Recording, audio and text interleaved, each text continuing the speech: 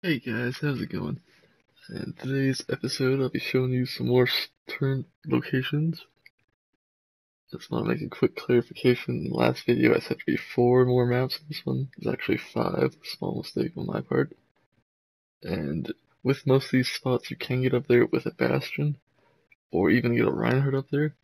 It's just you gotta be careful of how big the jump is, and if you can make it or not. Alright, starting out in Route 66, we have a spot commonly used by Widowmakers.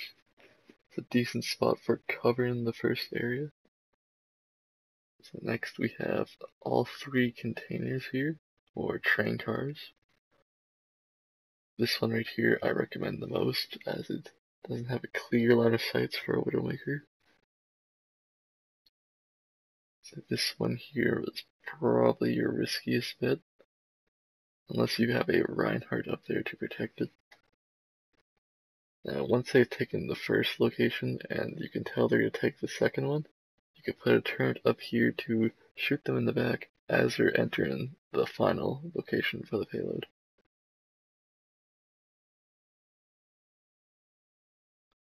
So next, once they've taken that location, and you're now onto the final one, there's many shelves in this room you can use a few ledges that are over top of doorways, like seen here.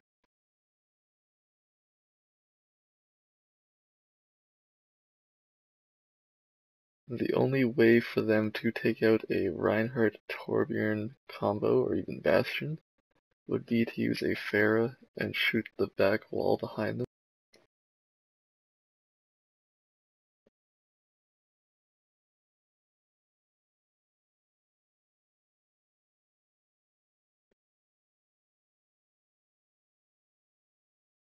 This spot uh, right over here is the only one in this room that requires two ice walls.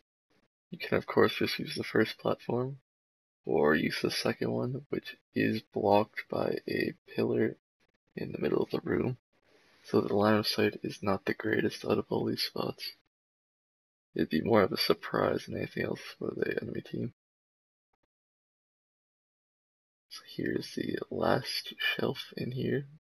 I'm sure I missed some, but there's just so many of them that are very similar.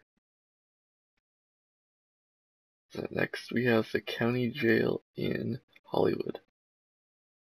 Now this one is a really good spot because you have cover to hide behind to repair the turret.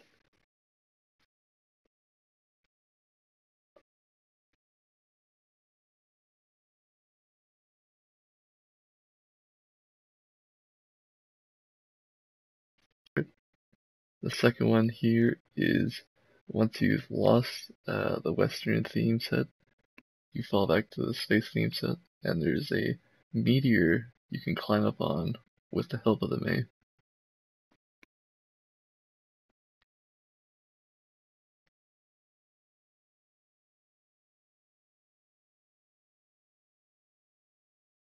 Now, this one here does cover all three entrances, but if you get rushed, there's a chance it goes down pretty easily. And now we're on Dorado. Dorado only has one location, but there's three different spots at this location with, you know, different amount of ice walls. So here is the first spot, which requires the one ice wall. Second one is the building across from it, which is two ice walls in. And then the third rooftop, which is the best, but is the riskiest to get to. And of course, the most time consuming.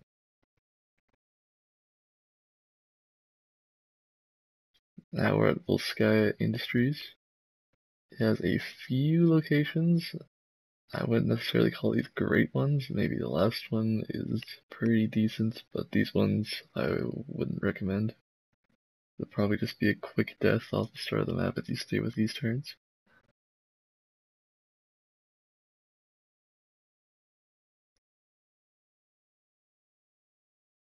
This one's alright for putting a turret down and then just leave it there to do a little bit of damage. I had to fall back to another location though and get ready for put up a new turret.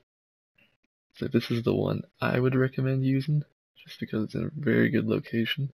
Covers most of the entrances, and you have a wall to hide behind to repair it with. Now we're at Hanamura.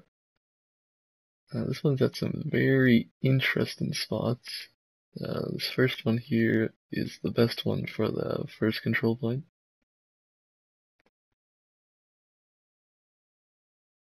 Now, if you're going to do it this way, I would recommend two Torbjorns because then you can put one on each side of the building.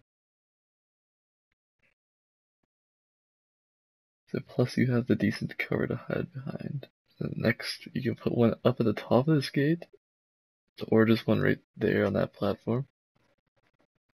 The one at the gate can shoot all the way towards their spawn, but can also be taken out very easily by a Widowmaker.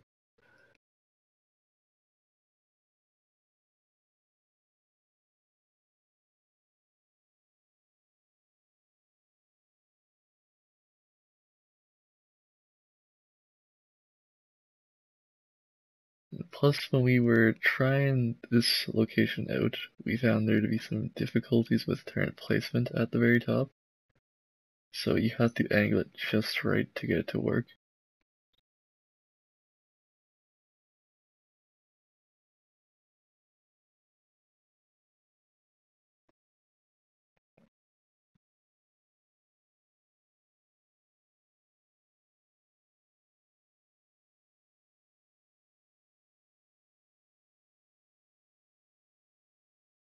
So this is by far my favorite location on this map. It's the second control point right near spawn for defenders. It's also a really good spot for a Widowmaker too.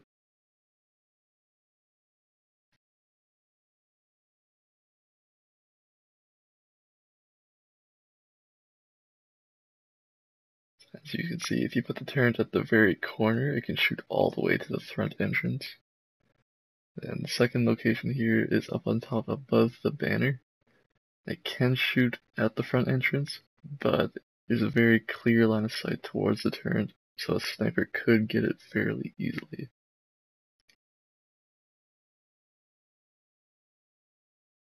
And you can see here the clear line of sight that a Widowmaker has at taking out the deterrent from behind the rock.